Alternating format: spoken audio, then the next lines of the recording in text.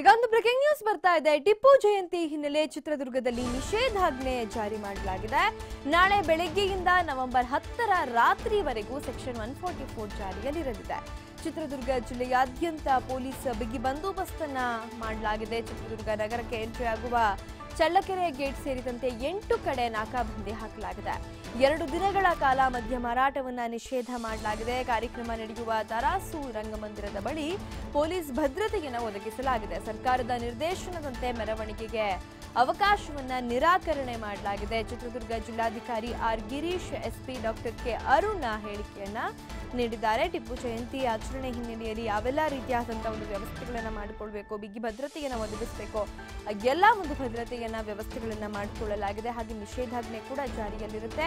ಎರಡು ದಿನಗಳ ಕಾಲ ಮದ್ಯ ಮಾರಾಟವನ್ನ ಕೂಡ ನಿಷೇಧ ಮಾಡಲಾಗಿದೆ. ಇನ್ನು ನಾಕಾಬಂದಿಯನ್ನ ಹಾಕುವುದರ ಮುಖಾಂತರ ಭದ್ರತೆಯನ್ನ ಬಿಗಿಗೊಳಿಸಲಾಗಿದೆ.